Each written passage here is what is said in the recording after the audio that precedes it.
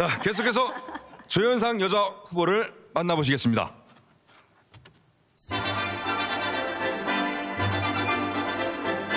대박 부동산 강말금 관리 시작했어요. 비록 내 딸은 지키지 못했지만 죽을 힘을 다해서 지키겠다고 결심했어.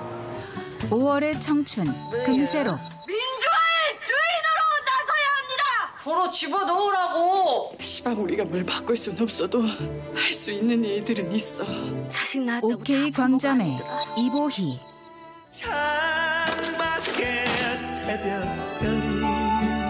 나 사랑해줘서 고마워요. 신사와 아가씨 이일화 남의 집에 남겨뒀냐고 왜? 박 선생. 박 선생. 박 선생. 많이 먹어 박 선생. 엄마가 아빠도 되고 소가도 꿈결 함은정 무시하고 괴롭히는 놈 어딨어? 어딨어 그 자식? 경찰 수업 홍수현 근데 그냥 좋으면 됐지. 걱정. 달이 뜨는 강 황영희 네가 평생 칼 같은 거 안 잡고 총무지랭이로 사는 거 그것이 장군이 바람이야.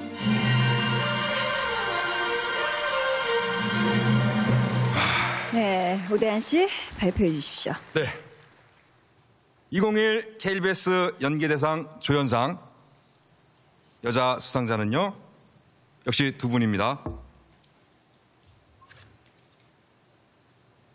축하드립니다.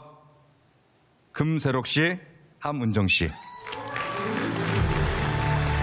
금세록 씨는 5월의 청춘에서 자연스럽고 맛깔스런 사투리 연기를 통해 드라마의 서사를 몰입감 있게 전달했습니다. 함은정 씨는 소가도 꿈결에서 처음으로 엄마 역할을 맡아 씩씩한 캐릭터를 솔직하게 표현하며 연기 스펙트럼을 넓혔습니다.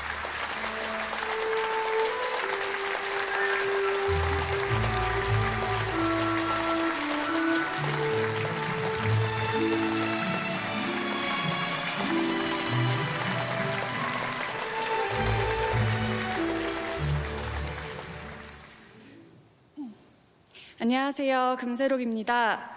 어, 어, 5월의 청춘과 이수련이라는 인물을 만난 건 2021년 제게 가장 큰 행복이었는데요. 어, 우선 큰 상을 주셔서 감사하고, 어, 머리가 하얘지네요. 어, 어, 그 작가님께서 시놉시스를 쓰셨었어요. 어떤 작은 위로와 어, 그날의 5월의 불씨를 전하고 싶다는 시놉시스를 쓰셨는데 그거를 보고 가슴 한 켠이 뜨거워졌습니다.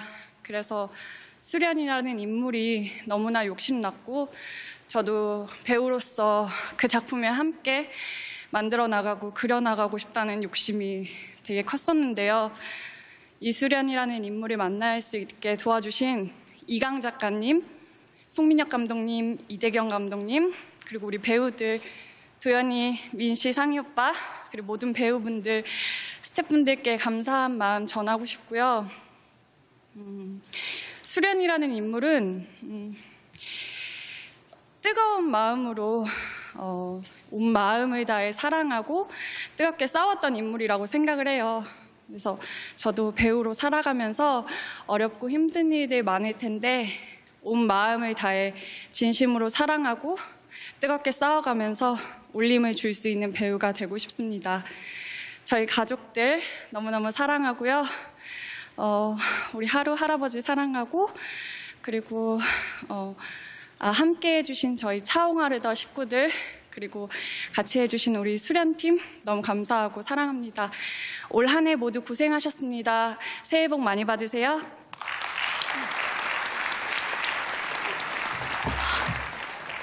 아, 어, 진짜 아찔해지네요. 네, 이렇게 좋은 일이 생길 때마다 겸허해지는 것 같습니다. 어, 이런 좋은 일이 자주 있는 일은 아니지만 이 순간을 네, 겸허하게 받아들이고 만끽하겠습니다. 일단 아, KBS 연기대상에도 처음 오는데 이렇게 큰 상 주셔서 너무 감사드리고요.